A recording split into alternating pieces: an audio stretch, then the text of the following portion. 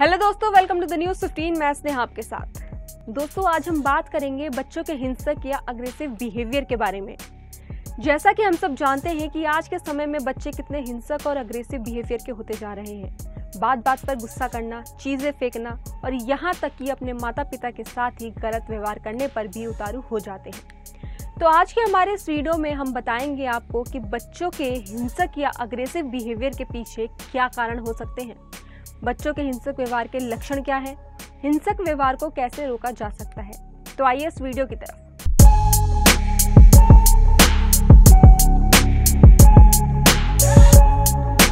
पिछले काफ़ी समय से देश में कई सारी ऐसी हिंसक घटनाएँ हो रही हैं, जिसमें नाबालिग बच्चे भी शामिल हैं। आपको हाल ही का लखनऊ वाला केस तो याद ही होगा कि कैसे एक 16 साल के बच्चे ने अपनी ही माँ को गोली मार दी। जानकारी के मुताबिक लड़के को उसकी माँ ने पबजी गेम खेलने से रोका करती थी तो उसने गुस्से में आकर पिता की लाइसेंसी बंदूक से माँ को सोते समय गोली मार दी और शव को दो दिन तक घर में भी छुपा कर रखा। बेटे की इस करतूत पर लड़के के पिता ने कहा कि उन्हें पहले से ही आभास हो चुका था कि उनके बेटे की हरकतें ठीक नहीं हैं और वह पहले से ही काफ़ी गुस्सैल स्वभाव का था। जिस उम्र के बच्चों को भगवान का रूप माना जाता है, वह अहवान और कातिल तक बनते जा रहे हैं। तो इन सब के बीच एक्सपर्ट्स का इस घटना पर कहना है कि आजकल के गेम्स काफ़ी आक्रामकता वाले होते हैं। जो भी बच्चा इसे खेलता है, वो रियलिटी और वर्चुअल दुनिया के बीच फ़र्क नहीं कर पाता है और खुद को उस वर्चुअल दुनिया का हिस्सा मान लेता है। इस तरह की आपराधिक मानसिकता किसी बच्चे में कैसे विकसित हो सकती है? यह निश्चित ही रूप से गंभीर और चिंताजनक बात है। यह कोई अकेली घटना भी नहीं है। कई अन्य देशों की रिपोर्ट उठाकर देख लीजिए। तो इस तरह के दर्जन भर से अधिक मामले देखने को मिल जाएँगे। लखनऊ की घटना के पीछे के कारणों से पता चलता है कि बच्चा पबजी नामक मोबाइल गेम का लती हो चुका था। इससे पहले ब्लू वेल जैसे गेम्स के कारण भी कई जानलेवा मामले सामने आ चुके हैं। पबजी और ब्लू वेल गेम को तो कई देशों ने बैन तक कर दिया। सारा ठिकरा इन्हीं पर क्यों फोड़ना? इन सब के लिए पेरेंट्स का बिहेवियर खान पान बच्चों के लाइफस्टाइल और उनके दोस्त भी जिम्मेदार होते हैं। वहीं इंटरनेट मोबाइल में इसी तरह के और भी कई गेम्स हैं जिन्हें मनोवैज्ञानिक रूप से आक्रामक प्रवृत्ति विकसित करने वाला माना जाता है। इतना आक्रामक कि बच्चा किसी की जान तक ले सकता है। हिंसक या अग्रेसिव व्यवहार बच्चों के दिमाग की लाइफ को पूरी तरह से खत्म कर सकता है। बच्चों के हिंसक व्यवहार के कई कारण हो सकते हैं और फ्यूचर में इसके कई गंभीर परिणाम भी देखने को मिल सकते हैं। ये हिंसक व्यवहार साइकाइट्रिक कंडीशन मेडिकल प्रॉब्लम और लाइफ प्रॉब्लम की ओर भी इशारा करते हैं। इसलिए पेरेंट्स का ये जानना बहुत ज़रूरी है कि बच्चे के हिंसक व्यवहार के पीछे क्या कारण है? एक्सपर्ट्स का मानना है कि बच्चों के हिंसक व्यवहार को नोटिस करने के बाद अगर उस पर ध्यान नहीं दिया जाए तो उसके गंभीर परिणाम हो सकते हैं। बच्चों की उम्र के आधार पर उनका हिंसक व्यवहार किसी को मारने, चिल्लाने बात बात पर गुस्सा होने, आपराधिक हरकत करना भी हो सकता है। बच्चों के सामने आने वाले कुछ कारक उनके हिंसक व्यवहार को और भी अधिक बढ़ा सकते हैं। एक्सपर्ट्स चेतावनी देते हैं कि किसी भी उम्र में बच्चों को हिंसक व्यवहार को अनदेखा नहीं करना चाहिए। बच्चों में हिंसक व्यवहार के ये संकेत नज़र आ सकते हैं। जैसे बार बार गुस्सा दिखाना, समझाने पर भी गुस्सा करना, कोई भी बात समझाने पर चीज़ों को फेंकना माँ बाप को ही मारने दौड़ना, लोगों के बारे में गलत बोलना, गलत भाषा का प्रयोग करना, गलत आदतों में पड़ना भाई बहन के लिए प्यार न रखना, लड़ाकू स्वभाव का होना, हमेशा उदास रहना, संवेदनशील और चिड़चिड़े रहना बार बार जोश में आना। इतना ही नहीं, इसकी आगे और जानिए कि कैसे हिंसक व्यवहार की चपेट में बच्चे आ जाते हैं। तो आपको बताते हैं हिंसक व्यवहार के कारण। हिंसक तरीके से व्यवहार करने वाले बच्चे में कोई ना कोई ऐसा कारण नज़र आता है जो उनके इस व्यवहार को और अधिक बढ़ाता है। उनके इस आक्रामक व्यवहार के ये कारण हो सकते हैं। गलत व्यवहार, फ़िज़िकल और सेक्सुअल, घरेलू वातावरण ना मिलना।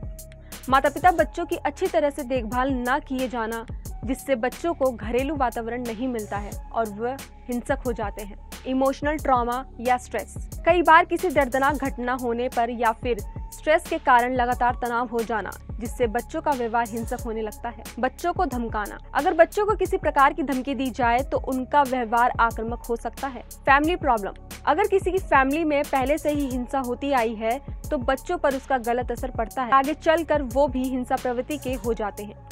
नशीली चीज़ों का सेवन करना। शराब और अन्य गलत चीज़ों के सेवन से बच्चों में आक्रामकता बढ़ सकती है।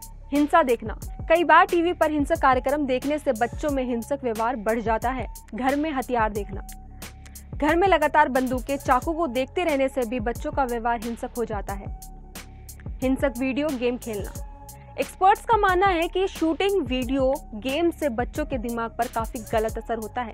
मानसिक स्थिति कई मामलों में बच्चों में बाइपोलर डिसऑर्डर एंजाइटी डिप्रेशन के मामले भी देखे जाते हैं यह कुछ ऐसी मानसिक स्वास्थ्य स्थितियाँ हैं जो हिंसक और आक्रामक व्यवहार को बढ़ा सकती हैं। बच्चों में विकसित होती आपराधिक प्रवृत्ति मोबाइल गेम्स विशेषकर पबजी की लत ने बच्चों के स्वभाव को आपराधिक और गुस्सेल बना दिया है।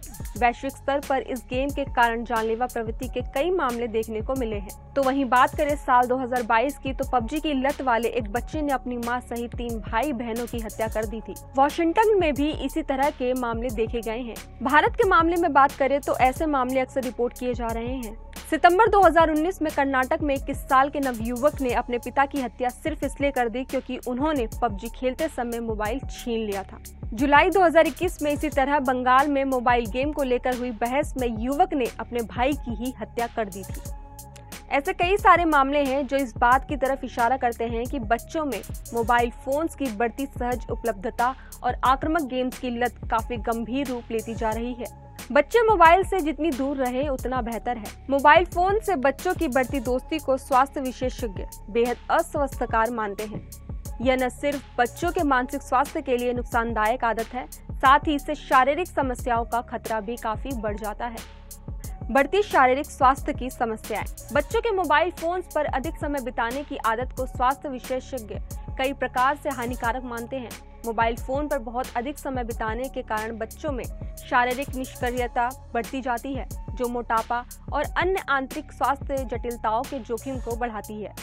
इसके अलावा अमेरिकन मेडिकल एसोसिएशन जर्नल के अनुसार, मोबाइल के अधिक इस्तेमाल से मस्तिष्क और शरीर के अन्य भागों पर गंभीर प्रभाव पड़ सकता है। मोबाइल फोन्स की लत को अध्ययनों में विशेषज्ञ कैंसर, मस्तिष्क पर नकारात्मक प्रभाव, ट्यूमर जैसी समस्याओं को बढ़ावा देने वाले मानते हैं। इन सब के अलावा मोबाइल पर ज़्यादा समय बिताने वाले बच्चों में नींद की कमी और नींद की गुणवत्ता में गिरावट जैसी दिक्कतें अधिक देखने को मिली है। शोध से पता चलता है कि सेलफोन की नीली रोशनी के उत्पादन में बाधा डालती है।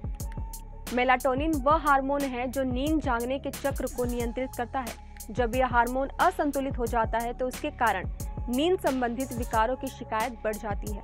नींद की कमी को अध्ययनों में कई प्रकार के गंभीर रोगों का कारक माना जाता है। अगर बच्चा हिंसक व्यवहार करे तो क्या करे? रिसर्च से पता चलता है कि अगर कारण को खत्म कर दिया जाए तो उनके हिंसक व्यवहार को काफ़ी कम या फिर खत्म किया जा सकता है। एक्सपर्ट्स का मानना है कि हिंसा से ही हिंसा होती है। इसलिए बच्चों को हिंसक चीज़ों टेलीफोन शोज़ आदि से दूर रखना चाहिए। जब भी माता पिता या अन्य घर के सदस्य देखे कि उनका बच्चा या फिर भाई बहन हिंसक व्यवहार कर रहे हैं तो उसे तुरंत किसी मेंटल हेल्थ एक्सपर्ट्स के पास ले जाना चाहिए। किसी प्रोफेशनल डॉक्टर द्वारा दिखाना चाहिए। इलाज उसके व्यवहार को दूर करने में मदद कर सकता है। बच्चों को मेंटल हेल्थ एक्सपर्ट्स द्वारा गुस्से पर कंट्रोल करना, मन की बातों को बताना, संघर्ष करना नेगेटिव बातों को दूर करना पॉजिटिव बातों को सोचना आदि के बारे में बताया जा सकता है। इसके अलावा आप और तरीकों से भी हिंसक व्यवहार को कम करने में मदद कर सकते हैं। जैसे, घरेलू माहौल बनाना, बच्चों के मन की बात को जानना, बच्चों से बात करना और उन्हें समझना, बच्चों की परेशानियों को अनदेखा न करना सेक्सुअल एजुकेशन बच्चों के मोबाइल और टैबलेट की जाँच करते रहना, प्राकृतिक जगहों पर घुमाने ले जाना, अच्छी चीज़ें दिखाने के लिए मोटिवेट करना बुक्स पढ़ने की आदत डालना, गलती होने पर अग्रेसिव न होना। तो आखिर में हम यही बोलेंगे कि बच्चों को बच्चा ही रहने दें। समय से पहले ना तो उन्हें बड़ा बनाने की कोशिश करें, न ही मोबाइल थमा कर अपनी ज़िम्मेदारी से बचें। बचपन अमूल्य और जीवन का आधार है। जैसा आधार होगा, भविष्य की बिल्डिंग भी वैसे ही खड़ी होगी। बाकी आप देखते रहिए द न्यूज़ फिफ्टीन आपको ये वीडियो कैसी लगी हमें कमेंट करके ज़रूर बताइए। साथ ही अगर आप हमारे इस चैनल पर नए हैं तो इस चैनल को सब्सक्राइब कर, इस वीडियो को लाइक एंड शेयर करना न भूलें।